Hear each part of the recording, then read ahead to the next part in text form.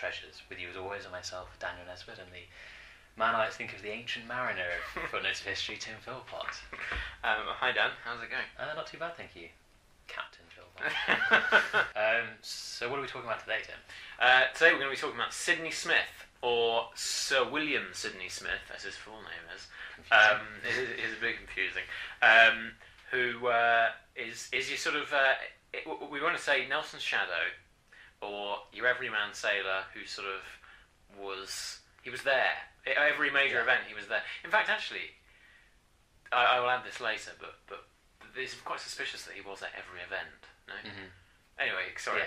No, no, just I think he is an interesting case study because when Yeah. we think of the Napoleonic Wars at sea, we think of Nelson, Yeah. and that's about the extent of our Yeah, knowledge. exactly. exactly. But actually, you know, obviously, he was a, the Royal Navy was a vast um, Yeah. sort of behemoth at the time with all these Yeah. other personalities and people, Yeah. um, and he was one of the probably one of the most interesting ones. Yeah, I think. and, and as and as you were just talk, talking about off air, the um, the most of the time they weren't even in contact with their superior officers Yeah. because they were sort of in the well, I mean, I mean, if you're in a fleet, obviously, then you would be, but uh, normally you would have to cope on your own for quite Yeah. a long period and of yeah, time. and ca- yeah, captains would have to sail their Yeah. ships around all, through all manners of. Yeah. Anyone who's read Hornblower or uh, Patrick O'Brian's novels will know that you often you basically had independent command Yeah. of, of ships if you were a captain. Yeah. Um, and then I think he actually typifies this struggle that many must have had with, you know, he was at one hand being asked to be almost like a supreme leader in his own right Mm. of his ship and maybe his squadron at different times, but then also be subordinate to another person every now and again when, Yeah. when he's basically told to. So Yeah. I think that's what we'll see. He's kind of struggled with that in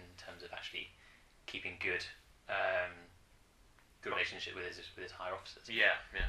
Um, but should we? What, what sort of con- yeah? What sort of context are we looking at? Uh, yeah, so we, we've got he, he pops up in quite a few different wars throughout the late yeah, 1700s. well, all of them. He, he, he, uh, I think he plays a lead. Well, he plays a lead. He played a role in all of the wars. Yeah, and what we're mainly going to be talking about is just quickly give you uh, a bit of background. We're going to talk about a little bit about the American War of Independence. Mm. So it's, this is the 1770s to 1780s. Mm. Then we're going to talk a little sideshow into what's called the Russo Russo-Swedish War, um, which is late 1780s, and then we're going to go into probably what most people would recognise from the period of you know, Hornblower and um, and others as being the French Revolutionary Wars and the Napoleonic Wars. So Mm. 1789 ish through to 1815 Yeah. the like latter period of his career. But I think let's go back to the kind of start, shall we? Start, yeah. Well, he started when he was 13. Mhm. It was ludicrous. I know. Yeah, I think he was he was one of these kind of quite horrific trainee officers they Yeah. have as a midshipman, and then he basically gets quite, um, he was literally shipped off. yeah, literally shipped off to learn his trade kind of thing, and then basically be educated on a ship of how to how to be an officer. Yeah, But at the same yeah. time, you're still a child, and yeah, this was in 1777, so just after the American War of Independence started, Mm. um, and this is where he kind of cut his teeth and got his first taste of both sailing Battle, and battle. Yeah, Yeah, yeah, actually yeah, battle. Um, and he, he rose quite quickly. He by 1780 he was a lieutenant, um, and this was actually quite unusual because he was only 19 at the time. This was under the usual age for a lieutenant, so Yeah. um, it shows that he clearly was Yeah. from the beginning he was quite capable and he, he could march himself out probably through you know courageous action in battle, having a clear head. Yeah. Um, Plus, also, I think, I mean, he, I mean, as we see from his later activity, actually, we, we will go into it, but he um, is quite resourceful and quite entrepreneurial in yeah, I the way think, he yeah. sort of comes about thing, Mhm. problems. He does, yeah, and I think this is shown by the fact that during the American Revolution he was given his first independent command as well as Yeah. being quite a young officer. He was given command of a sloop, which is quite a small Yeah. vessel, and then also a bit of a larger ship as well later on down the line. Yeah. Um, so I think yeah, it shows that he what this war at the, at the, as an introduction shows that he's at the, at the very start of his career Yeah. wanting to go places as well as a in the navy. He doesn't see this as just kind of like a stopgap to Yeah. parliament or a stopgap Yeah, to yeah. another trade kind of thing. This is this is this a career. trade, gonna- This is what he's going to be. And, then, and it is what he turns out to be, isn't it? Yeah, no, absolutely. And I think um, so. Yeah, so he's distinguished himself in the American War of Independence, but as we all know, that war ends in uh, in 1783. Yeah. Uh, and like many uh, officers in peacetime, he's put on half pay. Yeah. So um, this is basically where you're retained by the navy, but Yeah. they don't have enough ships or positions for you. So you're put ashore and you get half the amount of money you would normally usually have, get because, but you're still there on like a retainer in case Yeah. another war happens. You can be quickly subsumed back into the service. Yeah, it's kind of like kind of like reserve. I mean, it's kind of like a reserve force, isn't it? But um, yeah. I, I was thinking actually earlier, why don't they still do this? I don't know. I think it might be cheaper. It'd be cheaper, but I think there's probably less. I mean, cool. I think because our because armed forces are probably smaller than they were, But yeah, and there, there are less wars um, Okay, yeah, yeah, yeah. that, yeah, that, yeah. we need them for. Yeah, I suppose so. Yeah. Whereas this is more of a. Um, yeah, I suppose so. Whereas this is sort of like, oh, well, at any moment we could be invaded by France. Yeah. I. And also, that's equally. I think a lot of these officers are on half pay were basically impoverished. So Well, uh, when they were on half pay. yeah, we're kind of um, quite not exactly. Yeah, but, but it's not like you can't do something else in the meantime. I mean, I know, I know most of them spent their time gambling and womanizing and all this kind of stuff, as we know from Hornblower. But anyway, yeah, sorry, let's, let's, let's um, yeah, I mean, it's just an interesting thing, it? Mhm, half yeah. pay thing. One thing that they did do when they were on half pay was occasionally go and seek service in other armed forces and other navies. Yeah. Um, and this is shown by Stephen Smith's next move, which was um, To the Royal Swedish to Navy. the Royal Swedish Navy in 1790. Yeah. Um, and at this time, This is this is like the uh, as we were saying before. This is like the interval performance Yeah. between the two war between, well, the, talking about the big the big three big wars of the of the period we're talking about from yeah the American American uh, Revolutionary War, French Revolutionary War, and the Napoleonic Wars. This is between the American Revolutionary War and the French Revolutionary War. Mhm. Quite a lot of revolutions going on Yeah. at this point. um, the age of revolution. Yeah, indeed, it could be that. Um, and this is like sort of what he's doing in the meantime. It's Yeah. like just it's like okay, well, there's nothing else to do. Maybe Sweden and Russia should have a war. Yeah, as well. basically, he kind of like tried his hand at a few different things. So he'd Yeah. done a bit of intelligence gathering. I think he basically seemed to go on holiday to France uh, for a bit, and then he looked at how Cherbourg was being developed as a naval port and wrote back to the Admiralty to inform them. He went to Morocco and did a bit of similar thing there. But then um, in 1788, Sweden and Russia went to war mainly because Sweden's king Gustav III had seized power in a, in a coup, and he sort of thought that a short, kind of short, sharp war would make his critics fall in line um, and, and back him Yeah. basically. But that's, Um, that's, cla- that's classic. Uh, well, what we would define as sort of nation building behaviour. yeah, exactly. You know? You know, domestic troubles. Let's Yeah. have a um, have a quick war to make people focus their mind elsewhere. Yeah, absolutely. I think yeah, this is basically yeah. what he thought would And happen. it glorify him as a great leader as well. yeah, exactly. I mean, uh, like, like we were saying, I think we said this before, but like, uh, you know, like Argentina, Yeah. Falklands, um, Germany, probably two or three times. Yeah. Uh, well, Bismarck, Bismarck, I mean, Yeah. Bismarck in the forming of Germany was explicit in the the need for a war Mhm. to focus minds on the national interest. I think, Yeah. or something like that. And I think also in some extent Denmark as well in the Schleswig- Yeah. Schleswig-Holstein War. Indeed, I feel. yeah. Um, yeah. Anyway, um, so yeah, the um, war started in 1788, um, and it didn't go very well for Sweden. They were kind of on the back foot throughout quite a lot of it up Mm. until around 1790, which is equally, Yeah. also when Sidney Smith joined their ranks. Yeah. Um, and he was given permission by the Admiralty to join up. Yeah. I'm not sure if those, th- the two things were in- linked straight away. But, um, I was going to say, and then he turned the table. yeah, exactly. Well, there's, there's a couple of interesting things about this, isn't there? Because uh, I, mean, I know you're going to go on to this anyway in a minute, but first of all, um, although in a modern sense we would see Sweden as a bit of a weird, weird for Sweden and Mhm. Russia to have a war because Finland's in between. But at this point, um, Finland and Norway were all Finland's part of. literally just the battlefield. Yeah, yeah, yeah, Finland- yeah, yeah. kind of like Belgium in the First World War. But yeah, um, we'll probably that bit. But the, um, the um, fin- Well, at this point, fans. Finland is Finland is uh, Finland and Norway are part of the Swedish Yeah. uh, kingdom. Oh, and kingdom Sweden. basically a, a major power in its own right, isn't Yeah, it? And I yeah. think you have through, definitely through the early periods in places like uh, when Peter the Great was in charge of Russia Mm. in the earlier 1700s, they, his great rival was Sweden. Yeah, a lot of the time, especially around the north. Well, that that kind of sphere Same of influence yeah, was yeah, kind yeah. of a very hotly contested one, and it still still was at this point. Yeah. But yeah, so in 1790, Sweden was kind of looking, almost looking for a way out of the war as well, because Oh, really? it had gone on a bit too long for Gustav, Yeah. and now public support is now waning, and his debts are mounting. Yeah. But quite luck, handily for him, in some ways, is they scored probably the most decisive, if not the, de- the decisive battle of the war, was the Battle of Svensksund Yeah. in 1790. Is this Sidney Uh, Smith? this is where Sidney Smith is, is involved in this battle. Spearheading the assault. Spearhead. Well, he was given charge. Spearheading the assault against his own.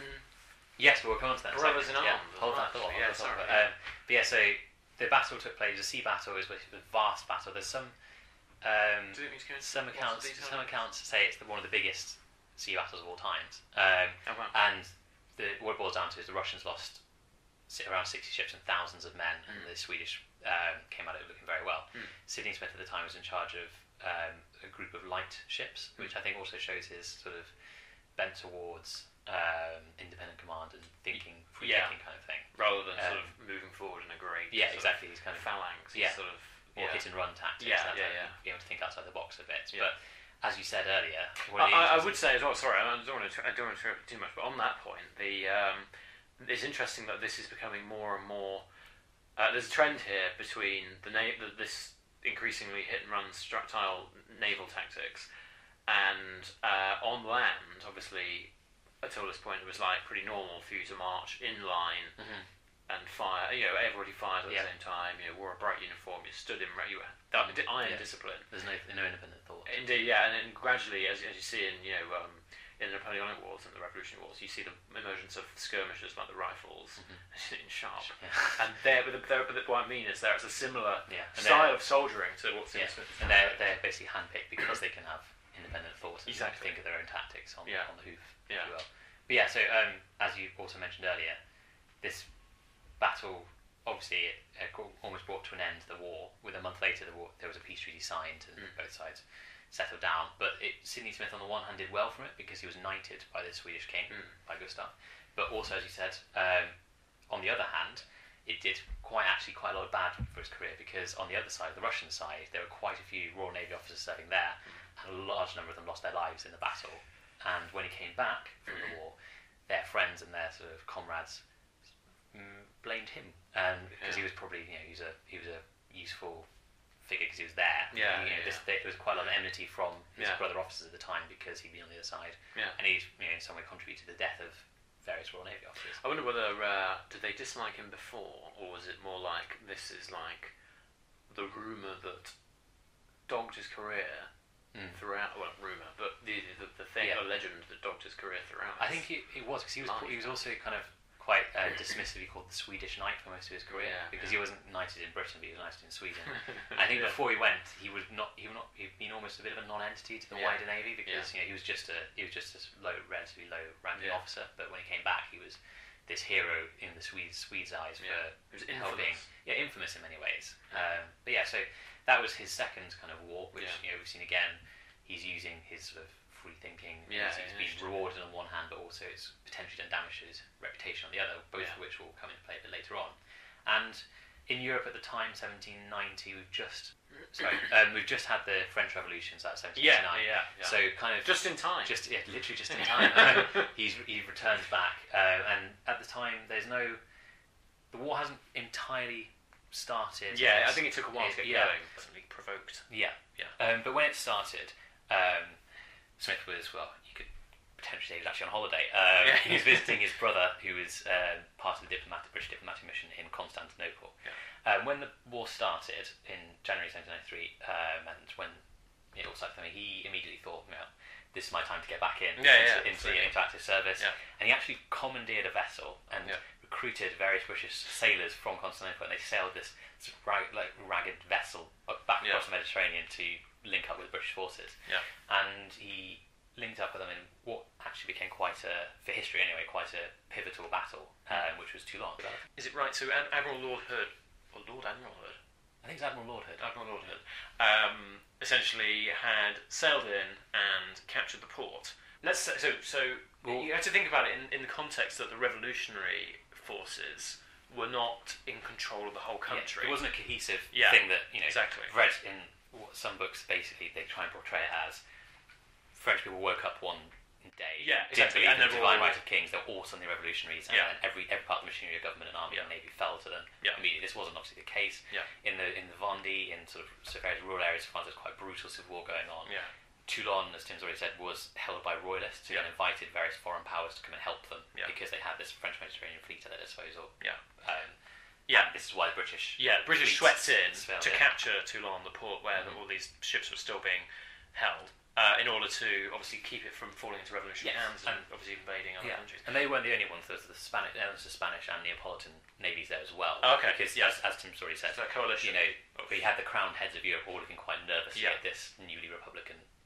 uh, Country, in, yeah. general country. Yeah. Um, Sidney Smith sort of sort of turns up in his in his, Yeah, in his ship, He, turns and out is and is, as, a, as a, you know not even as he's not employed by the no, navy at this he's point. basically a private citizen Yeah. with a ship and Yeah. a sort of raggedy crew. Yeah. um, that he turns up at, and when And, ad- and essentially the, the revolutionary forces are converging on Toulon. Yeah, a sort of then unknown artillery officer on the, on the, on the French Republican side, known as one Napoleon Bonaparte, Mm. who had managed to kind of encircle Toulon with various batteries and was firing, basically menacing the harbour and the Allied fleet that was in there. So they kind of realised that the game was up in many ways because Yeah. they he, Surrounded. Napoleon had basically surrounded the town and made it unsafe for the uh, ships to be there. Yeah. Essentially, on the way out, the British were like, "Well, we can't just leave all these ships here, so we should probably burn them. Mm-hmm. Probably should just just take them out of the war, Yeah. essentially." And uh, I think that was what Sidney Smith was tasked to do. Was that not Yeah, but it's interesting. I think he was actually tasked to. I think he just turned up and volunteered. Yeah, he yeah. wasn't even technically part of the wasn't Navy at this point. Navy, Yeah, yeah, yeah. he was ba- he was essentially a private citizen because he hadn't been fully Yeah. gazetted back in. He's not um, So he turned- half pay captain. I think he was, but I think that that status doesn't Okay. really accord to you Yeah, as a part of the Navy proper kind of thing. I think. yeah, yeah. Um, that and so he basically turned up and was given, or he- like he, I think he requested and was given the task of leading the British element of destroying the fleet. Yeah. And the Spanish sent a group in as well. yeah. And he, his, his um, sort of party did well. They uh, went into what was then the sort of new arsenal. So they and they destroyed ten ships of the line. So this was the, the big battleships Yeah, kind of yeah. thing, out of around thirty-two.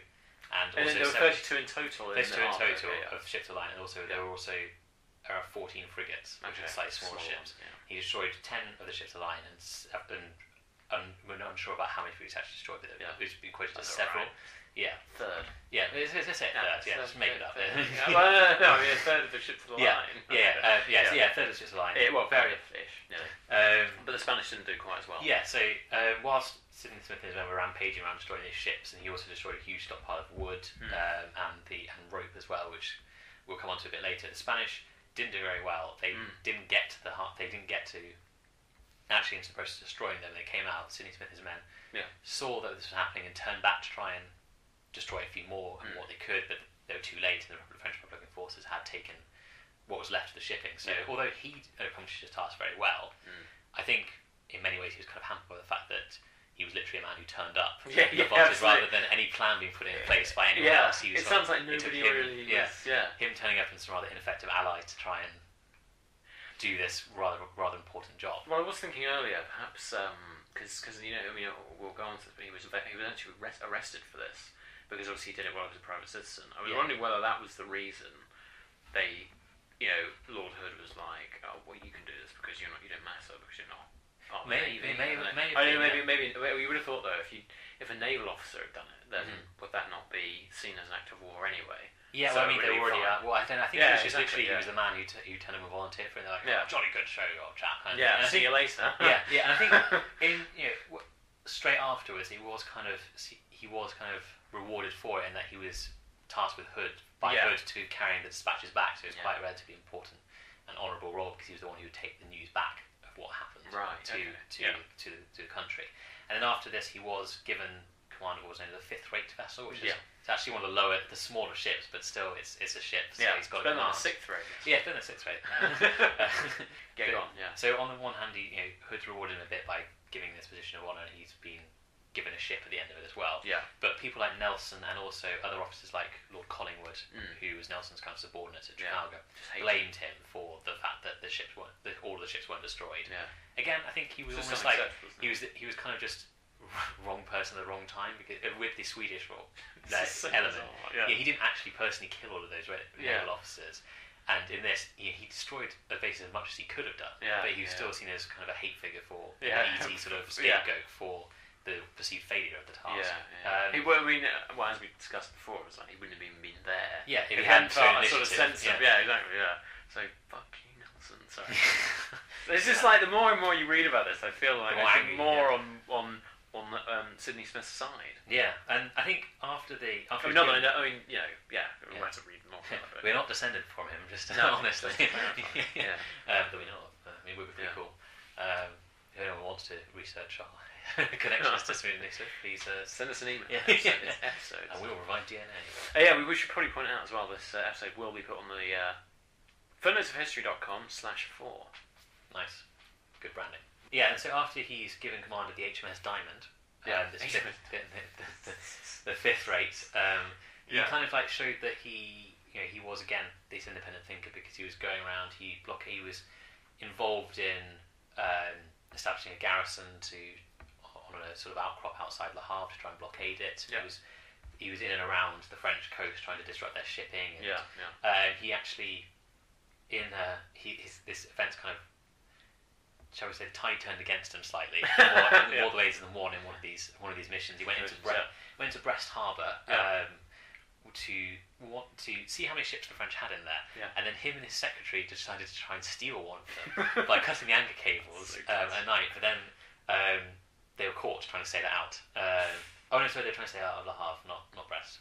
Okay, yeah. Uh, so he did sneak into Brest Harbour to Yeah. see how many ships they had in there. But then he also went into Le Havre, tried to Steal a it, to ship. do the same thing. Yeah, it. steal a ship. Yeah, tried to steal a ship as well, but was caught um, by the. French, and they imprisoned him in the Temple, which is this the Temple prison, which is kind of like the um, after the Bastille, it's probably the most famous of the Oh, French really? Okay. prisons. And that you know the Bastille was destroyed at this point, but um, Yeah. this is where they put a lot of the royalists. And Yeah. the, I, I think Marie Antoinette may have been there as well at Wow. point. At this point, his yeah, he was captured, thrown into the Temple, and um, his action in Toulon, as you already, hint, already hinted at, kind of came back to haunt him at this point, didn't it?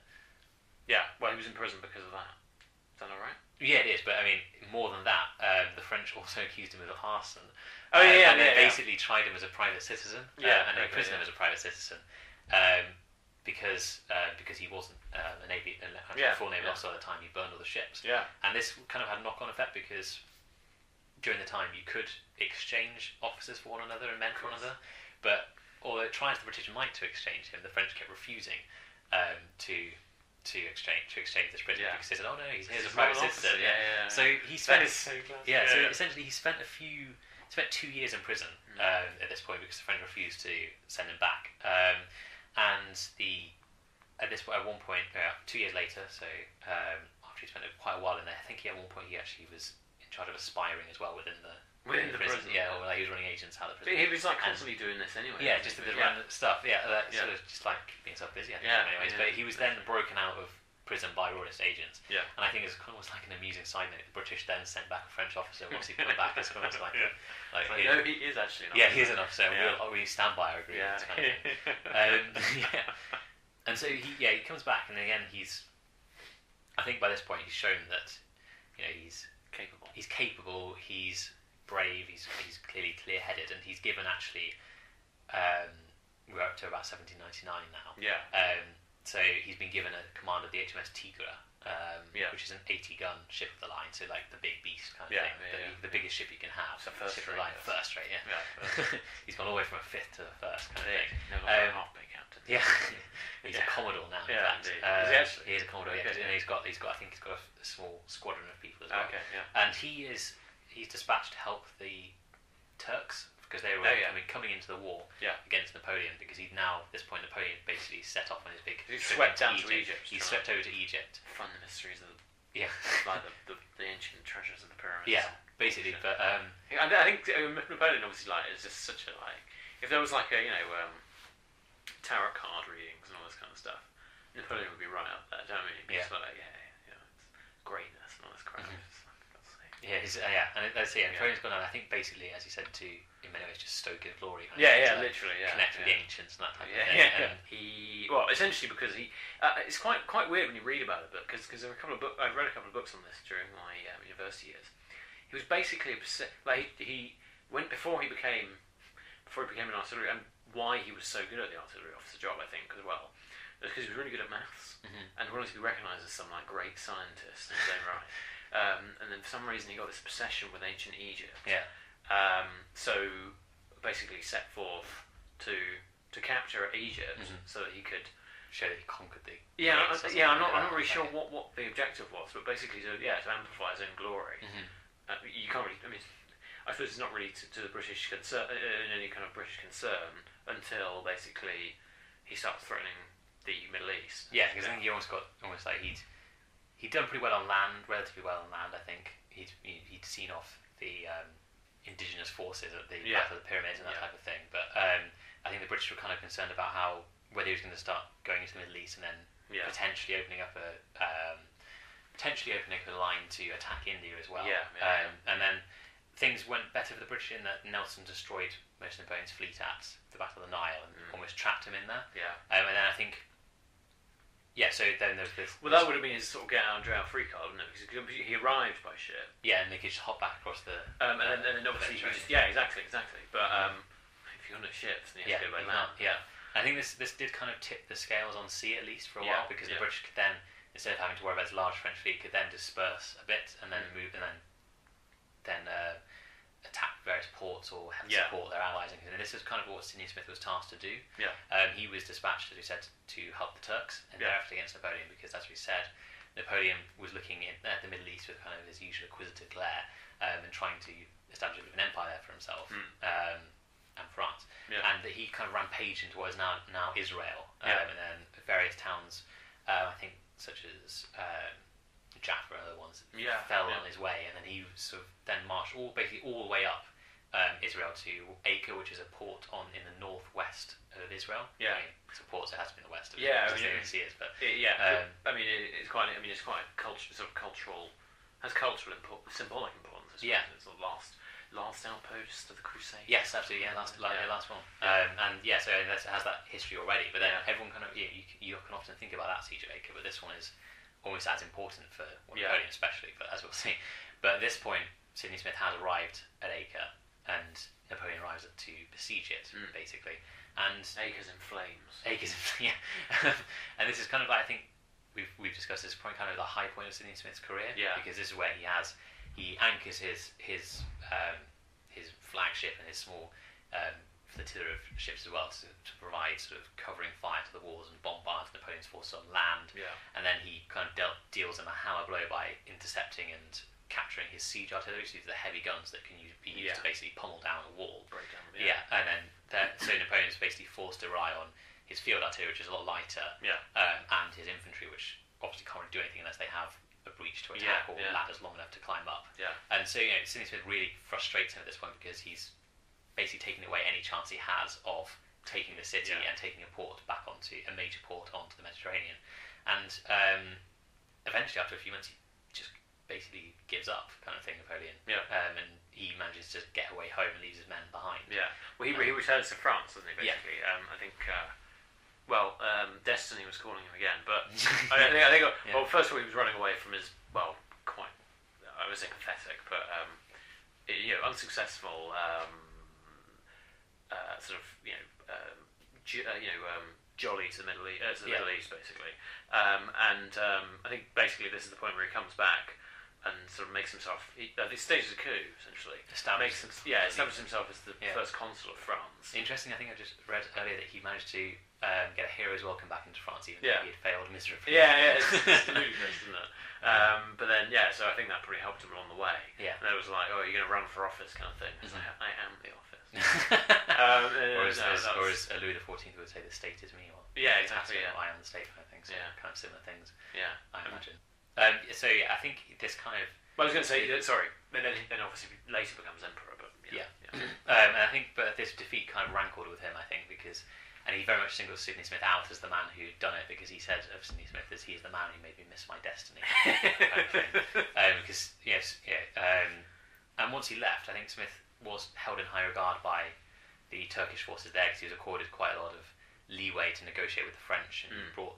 He negotiated a treat, treaty which would see the French forces basically surrender, and Yeah. they would be repatriated back to France yeah, yeah. which would have been quite, I think, a, in many ways, probably a favourable end to the war because it would mean that the Britain wouldn't need to expend huge amounts of men and money and manpower to actually take these very strongholds the French had taken and force them out. Um, but unfortunately, this treaty was, um, shall we say, Unofficial. it was unofficial. It was unofficial. Um, And then basically shouted down yeah, Nelson. Nelson was was uh, sort of apoplectic with rage because it let, let, it probably, I think he's probably sort of letting the French off the hook. Well, I mean, I- Um, I can see where he's coming from. I mean, uh, you can, you can, yeah, if you're going to send them all back to France, then they'll just send them out again. But yeah, uh, yeah, They, I think they would have done, but I think at the It's same the time, I they it's- kind of like it- at the moment they. You know, it's one of the things where you, you you don't want to fight that kind of a trapped enemy kind of thing. So Yeah, they'll, they they'll, they'll do more damage. So if you can get them out absolutely. peacefully, you might as well do that. Yeah. Um, but you know, you know, for better or worse, um, Smith's um, treaty was put to one side, and the fighting continued to around 1801 Yeah. when the French were expelled from the area from on very similar terms to actually the ones he negotiated. Um, Originally, so yeah, so so again, it's kind of like a way that he was Yeah. almost so close yet so far. He'd, he'd Yeah. almost he'd almost achieved this great victory in, in the Swedish War, but he was he was negatively impacted by Yeah, the naval losses, the Royal Naval losses, and then again burning the French fleet. But he wasn't quite seen. He was blamed for that. Now he's won Yeah. a great victory at Acre, but he wasn't really allowed to follow it through with this treaty that would have shortened the war in that Yeah, theatre. yeah. And then you know what he negotiated basically happened anyway. But Yeah. after loss of men and money. Yeah. Um, Is it not true at this point? War is over essentially for a bit. yeah. So Or is that after coming up? it's coming up. So I mean, after this bit happens, so 1801 is when the French are Mm. kind of expelled from the Middle East. Yeah. And 1802, March 1802 is when there is the end of the wars called the French Revolutionary Wars. Yeah. Um, and then um, just one year later, actually, about just around Yeah. in 1803, they start up again into the Napoleonic Wars, which Yeah. is when Napoleon, as you said, is He's crowned, he's crowned, ruling, yeah, and then crowns uh, himself emperor and then celebrates yeah. the with a bloody the war. new war. um, but yeah, so I think this, as, as you said, this this really did mark the high point of, well, the high watermark in many ways Yeah, it's, Sidney Smith's career. career. Um, He- I think you know, in, in in reflection, he's quite a resourceful kind of guy, and, and actually, in a way, you can see. As I think you're you're going to sort of describe his, his his work after this, like his non non military work, well, Mm. some military work, I suppose, but um, um, obviously overshadowed by Nelson in more you know more ways than one. yeah, Both li- both you know both shouted down by him, but also was you know overshadowed by him in reputation. yeah, So- and also kind of mistrusted by him as well. Yeah, yeah, especially after yeah. Toulon, and then yeah. yeah. So I think he was one of those people who's almost like an outsider Yeah. throughout because of this this sort of reputation that often probably not really his fault has been built up Yeah, about it. wrongly or rightly, Yeah. yeah. yeah. I think you know he did. Um, there, he he was seen as quite brash and arrogant by a lot of the other officers. So I think there was an element that he was also doing it to himself a little bit. So you have Yeah, various yeah. quotes throughout. So the the first Lord of the Admiralty, um, this a bit later on during the Napoleonic Wars, said that there seems to be such a want of judgment in our friend Sir Sidney that um, it's much safer to employ him under command than in command. Um, want of, it's interesting to say want of judgment. so. I think he was kind of seen as like almost a bit of a loose cannon as well. Yeah. Uh, perhaps because of so many yeah. shit I metaphors. there's just too many of them. yeah, obviously, yeah. yeah. I think this is where they all come from. yeah, yeah, all from Sir Sidney Smith. Oh yeah, yeah. Sir Sidney Smith. yeah, the Swedish knight. Yeah. But, um, but yes, I think part of the reputation was himself, but part of it also was these events that Yeah. you know, he didn't really. You know, if it was looked on with slightly more favourable eyes, he would have been. Well, in, in, in, many ways, he was very helpful. Like, you know what I mean? Like coming over as a, as you know, not as part of the outburst. Hmm. Then I suppose you could say, oh, I was just looking for work. But I don't know. Yeah. Well, he was you doing know, what he knew what to do, kind of thing. Like- Yeah. Yeah. True. Yeah. And, and anyway, but after the after the wars began again in 1803, he during this time he'd done he'd he'd been an MP Yeah. as well, weirdly enough, during the peace. Um, Yeah. He He- had a reputed affair with Carolina Brun- Brunswick, who was the um, wife of the Prince of Wales, I think at this point. Yeah, Prince yeah. Regent, maybe. I think. I think. Yeah. I think that's right. Yeah. Um, and then I think when the war started again, he kind of showed his new, his sort of again this mind of independent thought by championing new weapons like rockets and torpedoes and Yeah. mines, and he tried to use them on in attack on Boulogne, which went a bit wrong, but Yeah. yeah.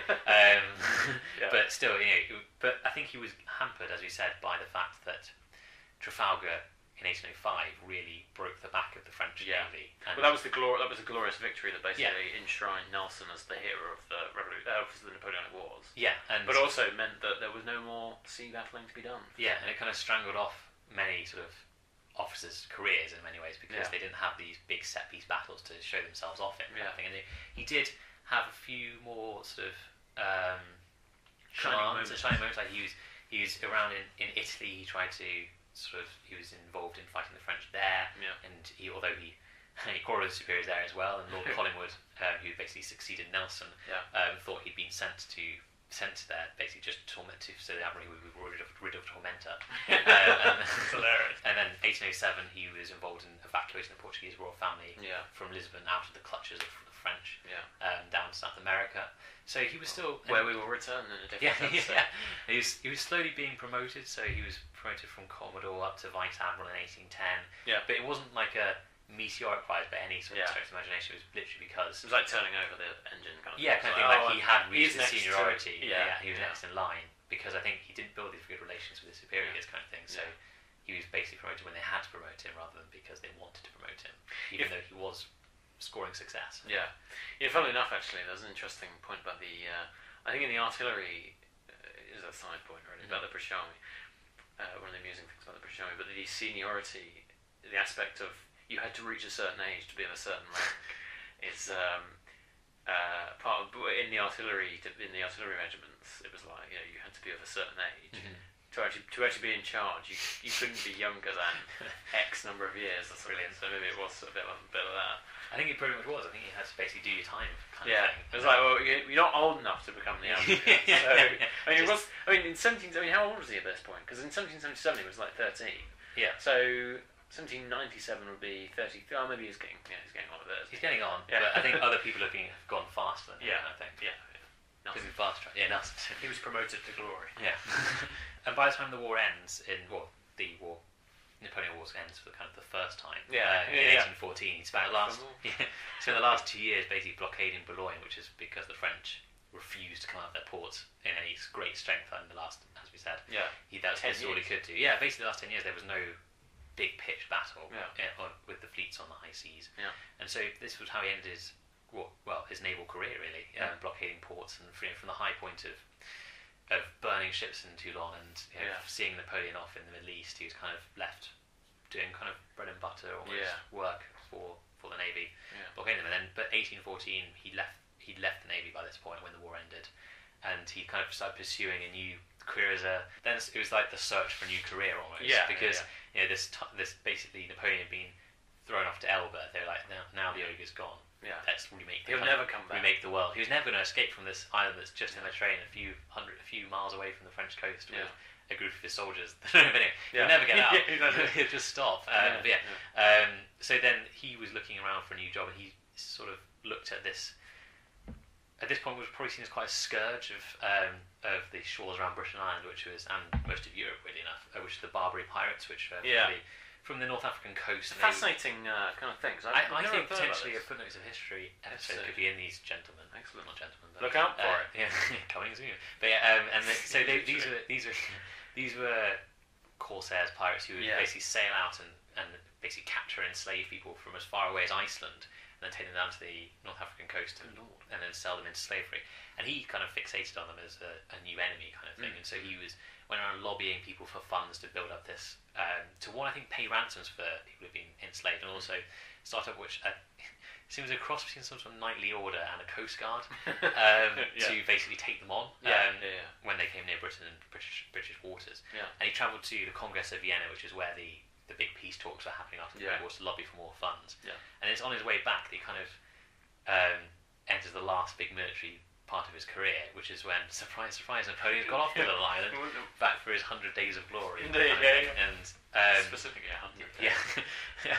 March then his time Waterloo. expired. Yeah, and, and yeah, Yeah. As, as we all know, he met Wellington at Waterloo. Yeah. And then, but Sidney Smith was actually, I think he was in Brussels at the time the battle started. Of course, Sidney Smith being Sidney Smith, Yeah. um, marched the sound of the guns, unlike Yeah. Napoleon's forces that should have done that instead of chasing I'm not sure. If, do you think people actually know where Waterloo is? Good point. Let's. Yeah, do you want to? It's not Waterloo, London, is it? It's That's basically yeah. Napoleon did not did not get on the on the train and arrive at the station. Is it south of Brussels? I think it is south of Brussels, no? Yeah, well, I think it was It's basically yeah. I mean, Belgium uh, didn't really exist at the time. No, It was created in 1830. Mhm. So it's what's Sort it's of- in now now in yeah, Belgium. yeah, yeah, Yeah, and this is where uh, Napoleon marched his troops because Yeah. and where Wellington basically chose to meet him. Yeah, fall yeah. back and then having Having- the ground of his choosing. indeed, yeah, yeah. Um, having manoeuvred the Prussians into the first wave, but yeah, yeah, yeah. yeah sorry. But yeah, um, Anyway, the battle was taking place, and Sidney Smith rode out onto the field to locate Wellington because you know he thought this is again kind of similar to Toulon.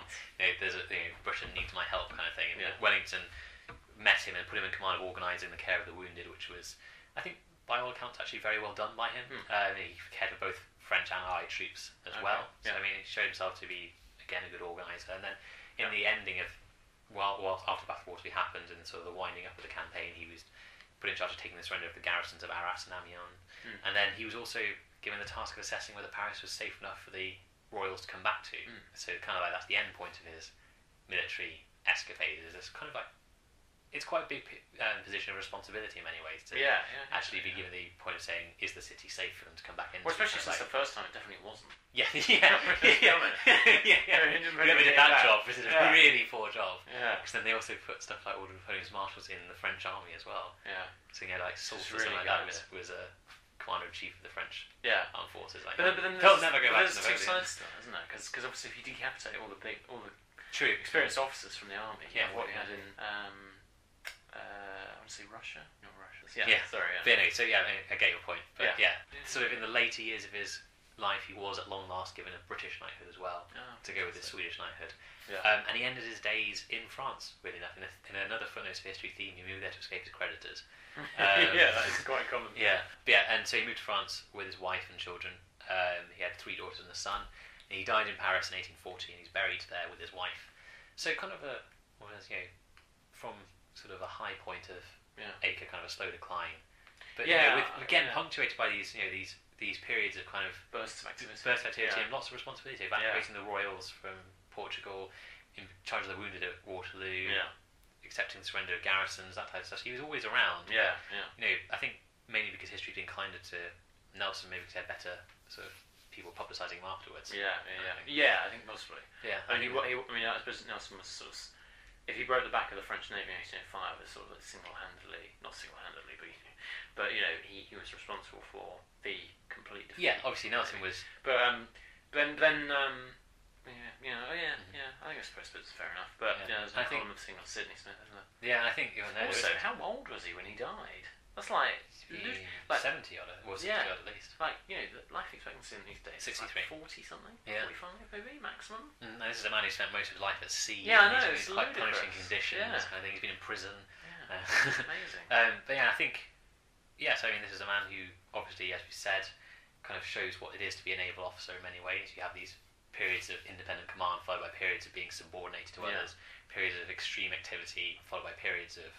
No activity. Yeah, yeah. Um, and then it shows what history does to you, really. If you don't, you know, in some ways you can have these great successes, but you also, if you don't get on with people at the same time, if Yeah, people take yeah. against you, then your Well, reputation will suffer after you after you're not there to defend it. Yeah, I, I think it's also indicative of potentially a certain amount of politics in the Oh, yeah, absolutely, time. Yeah. Absolutely, I think. So- So I think yeah, that is Sidney Smith kind of Nelson Nelson's shadow and Napoleon the mirror kind of thing. Yeah. Um, Napoleon's mirror. Yeah, because there is his rise in Toulon, Yeah. his um, what his attempted sort of glorification at Acre, and then um, at his fall in Waterloo. Kind of thing. Indeed, yeah. But yeah, so do you have any further reading at all? Um, well, um, there is obviously the biographies of Sidney Smith. Yep. Um, I was going to say, uh, he. Um, I, I think it's. I mean, I, I mean, I don't want to be like, you know, but it's quite suspicious that he's at every major event. Like usually, you would see that as aston- as astonishing. Usually, when you look back on this kind of period, and if a, sol- a soldier's memoirs Yeah. say they've been at every major event, they're obviously made up. Like that guy think you were telling me about. yeah. him, which- Could you do that one? That's a good for Yeah, this yeah. ending point there, or Yeah. not ending point. Just, um, Yeah. Fill us in on the on this peninsula one. Yeah, Peninsula War. Well, yeah, I can't remember what his name is, but um, essentially there are a couple of versions of this, and um, basically because the Peninsula War is the sort of first one where a large number of larger number of soldiers are able to read and write by you know by the end of it than any other war previously. Um, you have a lot of memoirs, and there are sort of certain memoirs that look at particular battles and you know particular places where soldiers were. And then there's this one memoir that came out sort of quite a bit later um, that was at every major battle somehow. it's a bit like sort of Sharpe, Yeah. where it's just everywhere, and you know personally responsible for this.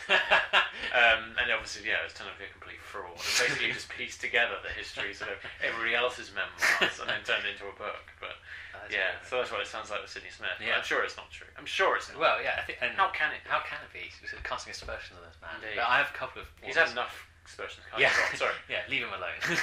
but I have a Who couple. are you. Nelson? anyway, yeah, the Nelson Appreciation Society's back and Yeah, I, I've, I've got a few bits of further reading. Um, as you've alluded to already, his correspondence and memoirs have been published, and then also more recently, a few biographies have been uh, written about him. One, A Thirst for Glory by Tom Pocock, and also another one, Beware of Heroes, Admiral Sir Sidney Smith's War Against Napoleon by Peter Shankland, both of which are well worth reading if you can get hold of them. That's that was Sidney Smith. Um, Nelson's Shadow, Napoleon's Mirror. Um, one of the lesser known. I think yeah, it's, it's, it's, you know it's time for us to move. Um, time, for us to move Nelson over in our, in our Pantheon here. Indeed. Thanks for listening to Footnotes of History. For more episodes, visit footnotesofhistory.com and subscribe. Or, if you want to suggest an episode to us, email us on episodes at footnotesofhistory.com. You can also follow us on social media at FOH Podcast to Twitter, and we're also on Instagram and YouTube. Thanks for listening.